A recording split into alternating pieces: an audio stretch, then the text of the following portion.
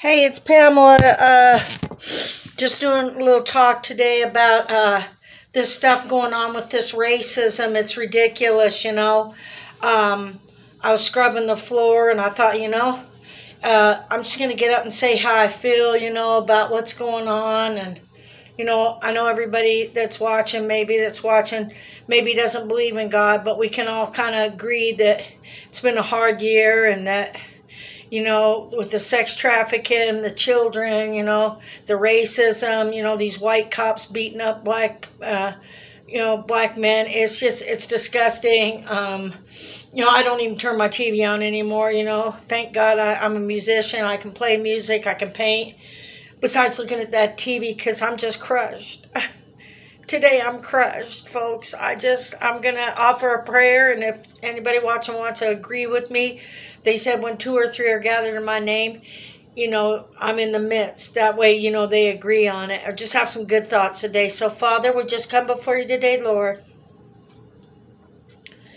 Of course, I always ask, you know, less of me, more of you.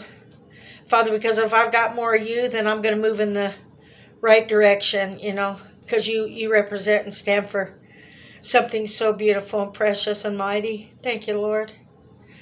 Just uh, want to bless the bless the people in the world today and watch over our children and that uh, we can come together and have good thoughts you know.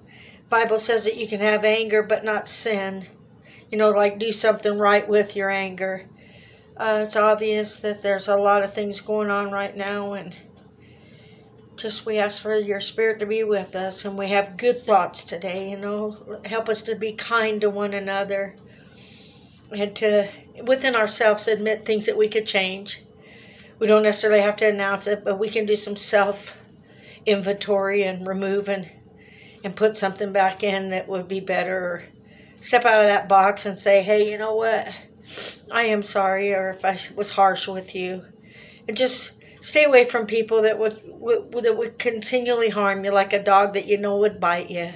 Just back off from them, pray from them, and and kind of get around different situations. But Lord, I'm just praying right now that uh, this racism and this coronavirus, Lord, that you'll take this out of this world and that we'll come together in peace, Lord, and that we can agree today.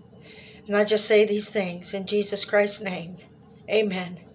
So if you if you don't believe in the Lord, you can agree with something and and have some good thoughts today and do something kind but the world isn't a great place right now. You know, it's great, and everybody wants to say, "Oh, it's this and it's that," and I'm doing everything I can for me. But when you when you when you look at the news, it's it's not a good day. So we need to pray, and we need to just remember that you know, within one person, we could change the world. Kind of like when you get a whole sack of potatoes, and in the potatoes, like, you know, there'll be one bad potato, right? Well, you don't throw the whole bag out. You dump it in the sink and turn on cold, cold water and wash them real good. And there's that bad one. We'll just throw it out. So just each of us pray today. Thank you, Lord. Because I'm so angry right now what's going on. I just have to pray. So I don't often do videos like this. But, you know, it's Miss Cool being real today. God bless you. Have a wonderful day, will you, man?